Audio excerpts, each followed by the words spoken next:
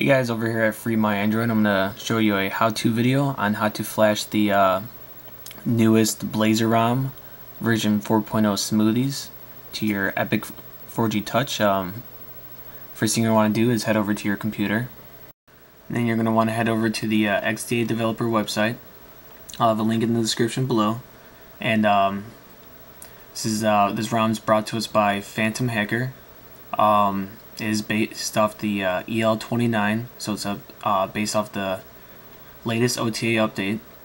Um, it's very ice cream sandwich themed, not themed like complete UI is themed. The more or less the uh, TouchWiz launcher is themed ice cream sandwich, like um, the application icons, transition effects, uh, colors, stuff like that is very themed ice cream sandwich. So um, very cool. We'll get into that once we uh, flash it. I'll uh, do a review on the ROM, but uh, you want to head down here to um, install instructions and it says uh, format all. You're going to want to download that. It's um, basically like a one format zip. It'll format your data, everything.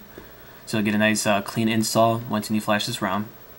But uh, then you're going to head over here to Blazer ROM version 4.0. And over here on top, it's not showing on my camera, but it's a tab that says download. Click on that. And it brings you here and this is the ROM you want to download, the Blazer ROM version 4.0. Uh, download that, and then you're going to want to plug in your phone and um, enable the um, USB storage so you can copy over the uh, zip file to your SD card. So enable that. Format all for E4GT. Copy that over. Just drag it right over. And uh, same with the Blazer ROM. Just select it and copy right over to your uh, SD card. Alright, it's uh, done copying over, so what you want to do is go back to your phone. And then uh, just uh, select uh, disconnect storage. And then you can unplug your uh, USB. Now you want to boot in your recovery. So power off phone.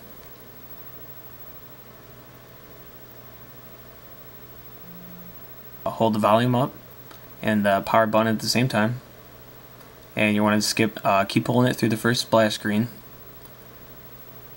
and then you want to release uh, the second splash screen.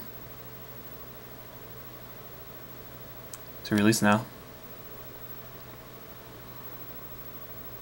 And now you're in your recovery. You're gonna want to um, go down uh, go to wipe. Um, I even though um, we download that format all I select the uh, uh, wipe everything just once. So just go uh, wipe data, hit yes.